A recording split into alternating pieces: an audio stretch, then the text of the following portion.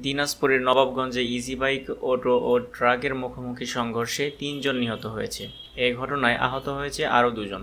ঘটনাটি ঘটেছে আজ শনিবার সকাল সাড়ে সাতটায় দিনাজপুরের নবাবগঞ্জ উপজেলার চড়ার হাট পেট্রোল পাম্পের সামনে। ঘটনাস্থলে নিহত দুজন আব্দুর রশিদ এবং আঞ্জুয়ারা বেগম আর রংপুর মেডিকেল কলেজ হাসপাতালে নেওয়ার পথে মারা যায় বাসুদেব বর্মন। নিহত বাসুদেব নবাবগঞ্জ উপজেলার চার নং শালকুড়িয়া ইউপির বেড়ামালিয়া গ্রামের ঘুরাই বর্মনের ছেলে।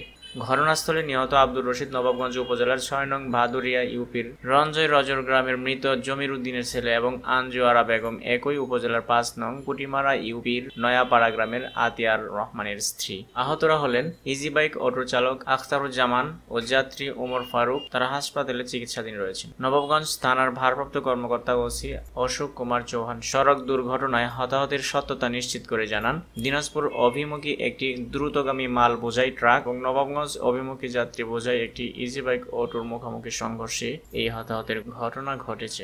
ঘাতক ট্রাক ও ইজি বাইক অটো আটক করা হয়েছে। নিহতদের লাশ ময়নাতদন্তের জন্য পাঠানো হয়েছে Dinajpur M Abdur Rahim medical college হাসপাতাল মর্গে।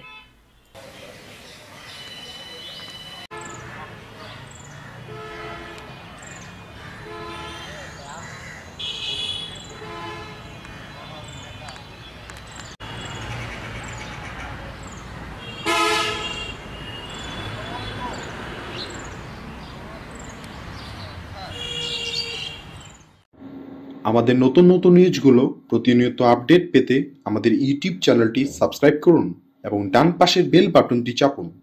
ভালো লেগে থাকলে আপনাদের সোশ্যাল মিডিয়ায় তা শেয়ার করুন। আমাদের সাথে থাকার জন্য ধন্যবাদ।